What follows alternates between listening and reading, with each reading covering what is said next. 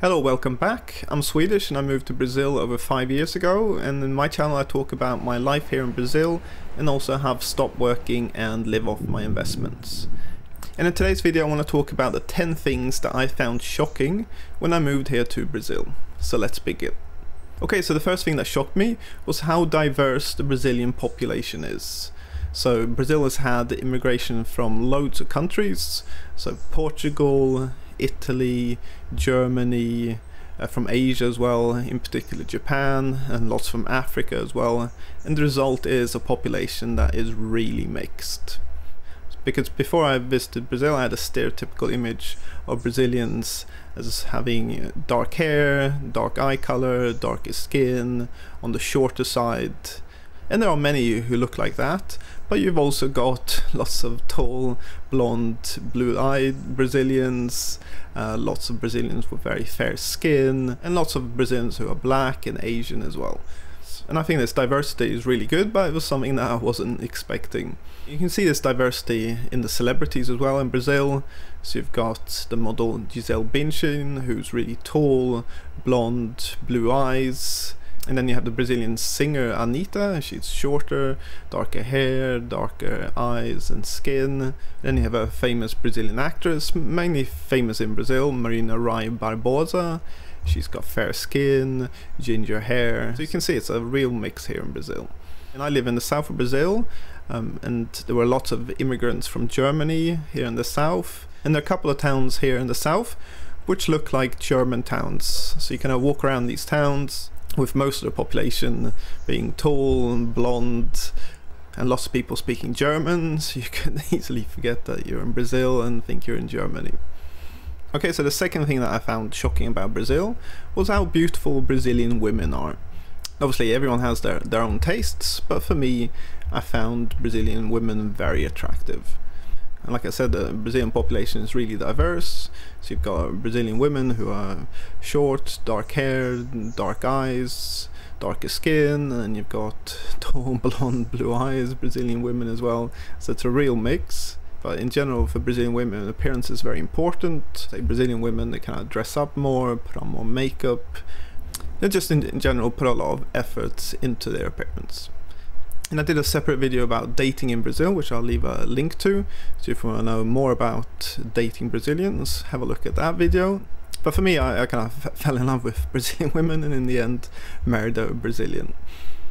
Okay, another shocking thing, which is connected to what I talked about previously, is the amount of plastic surgery that happens here in Brazil. So Brazil is one of the countries with the most plastic surgeries. So I found this list here which says it's number two in the world below America. It's a bit outdated though so maybe it's changed a bit but a lot of plastic surgery happens here in Brazil. So just thinking about my friends and family that I have here in Brazil and I would say that the majority of the women that I know have had some sort of plastic surgery and that includes breast implants, liposuction, butt implants, and various other things. Um, and I think about friends and family that I have in Sweden. I can't think of anyone who's had plastic surgery. Maybe in Sweden they're a bit more secretive. I don't know. So maybe they have it but don't talk about it. But I would say definitely there's a lot of plastic surgery that happens in Brazil. So this all kind of goes back to the, the fact that I said earlier that Brazilian women they are very focused on appearance and so a lot of them do some plastic surgery. Okay, so another shocking thing that I found about Brazil was the amount of adultery that happens in Brazil. So a lot of Brazilians have affairs when they've got a girlfriend or they're married. And it's my impression that a lot more affairs happen in Brazil than they do in Sweden, for example. And I haven't done any research to scientifically conclude that that is the case. Just talking to family and friends here in Brazil, um, I would say I know probably four or five people who have had affairs and they've told me about it.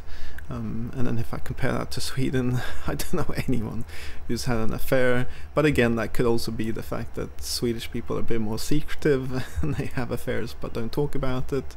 But here in Brazil, especially the men, they just seem more open about it and actually talk about it. And I would, I would say that generally Brazilian men have more affairs than Brazilian women. But don't come to Brazil thinking that all Brazilians cheat or anything. That's definitely not the case. But I think it's more common here.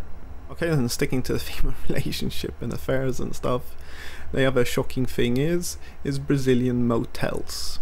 Now, Brazilian motels aren't the same as the motels in America or Europe. You can find some cheap accommodation near the motorway, but in Brazilian motels, you don't stay there the whole night. You rent it for a couple of hours, and it's all focused on couples and, and making love. And a lot of these motels are themed, so you kind of go Italian Colosseum, Greek Palace, um, and then inside these motels, they have different rooms. So some rooms have jacuzzis, bathtubs, uh, mirrors on the walls, on the ceiling. And, and couples go there and rent a room for a couple of hours. I know some other countries, I know South Korea also has motels like that. But it's a real shock for Swedish people who just comes here thinking it's a, a ch cheap hotel. Okay, so another thing that shocked me was that um, quite a small proportion of Brazilians speak English.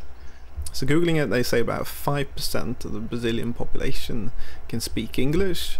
I would say it's a bit higher than that, but you definitely need to speak Portuguese if you want to come to Brazil. Now, I would probably say it's a bit better in the big cities there, more people know English, and I would say that kind of the younger population, their English is better than the older population. But still, if you've got any intention of moving to Brazil, you need to learn Portuguese. Okay, so another thing that shocked me was how expensive certain things are here in Brazil. So I did a video about the cost of living here in Brazil, and I showed how the cost of living here in Brazil is a lot lower than it is in Europe and America. However, there are certain things that are a lot more expensive here in Brazil compared to Europe and America. And those are the things that are imported because the importation tax is very high here in Brazil. So basically the things that are made in Brazil, they can be the same price or even cheaper, but if you buy anything which is imported, it is generally a lot more expensive. So for example, if we just look at the iPhone 15, I know that now Apple is starting to assemble some of the phones in Brazil to try and reduce down the cost, but still the, the iPhone is a lot more expensive in Brazil than it is in America. For example. So you can see here that the prices of uh, kind of the basic iPhone 15 is about 6,000 reais, which is about $1,200 and you can see here uh, on I just chose Best Buy here for example. You can get the, the iPhone 15 for between seven and eight hundred dollars. So it's definitely more expensive to buy these things in Brazil and the same applies to laptops they're a lot more expensive in Brazil compared to America and Europe. But if you exclude these electronics and gadgets and stuff, the cost of living in general in Brazil is a lot lower. And I did a, separate video on that and I'll leave a link to that in the description below. Okay, so another thing that I was shocked about was the fact that 40 years ago Brazil was a dictatorship, a military dictatorship. Now in Sweden you don't study much uh, the history of South America. I kind of just knew that some of the countries had had some dictatorships there, but it was only when I started researching Brazil more that I realized that Brazil has only been a democracy for 40 years, more or less. So in 1964 there was a military coup, and so the current president of Brazil had to flee. His name was João Goulart. So he left Brazil and the military took over and they installed various dictators in Brazil and that lasted until 1985 when Brazil managed to do a relatively peaceful transition from the dictatorship back to a democracy. So for me as a Swedish person, uh, living in a country which only 40 years ago was a dictatorship and I'm able to, to speak to people here who experienced it and, and they explain what it was like during that period. It's definitely nothing I've experienced before because as a Swedish person you only read about it in the books in school and that's it. And also another shocking thing connected to politics is the fact that voting in Brazil is compulsory. So nearly all Brazilians are required to vote. Um, so between the ages of 18 and 70, you're required to vote. There are a few exceptions that if you're sick or you're away from home, then you don't have to vote. But basically when there's an election, the majority of Brazilians vote because it's a requirement. And if you don't vote, then you have to pay a fine and you have problems getting a new passport if you need to renew your passport. So basically, if you don't vote, um, they complicate your life a bit and you might have to pay a fine. So I couldn't quite get my head around the fact that it's a democracy, but you're forced to vote. But at least they have high voter turnout compared to America and Europe, where it's a lot lower. Another thing that shocked me was how big the carnival celebrations are. So carnival happens in February or March time, it kind of varies every year depending on when Easter is and these celebrations are massive. I'm sure most of you have seen the carnival celebrations in Rio with those massive floats and all the dancers and everything, but that's only one part of the carnival celebrations. For most Brazilians, carnival means going to the beach and having loads of beach parties there. And these parties go on for days. I would say it's bigger than New Year's celebrations because, because the New Year party, you know, only happens on the 31st but carnival parties they go on for days so carnival always starts on a friday and then goes on for a saturday sunday monday tuesday are holidays in brazil so people have the day off and for a lot of people wednesday as well is a holiday and so millions of Brazilians descend on the beaches, and the beaches become really busy during those times. And people put up gazebos on the beach, bring loudspeakers and stuff, and, and it just gets really busy and crazy at the beach during this time. But I really like it, and you don't really have anything similar in Sweden, which goes on for such a long time.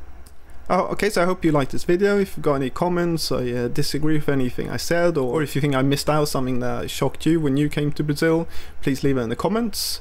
And also please like and subscribe. So thanks for watching, until next time.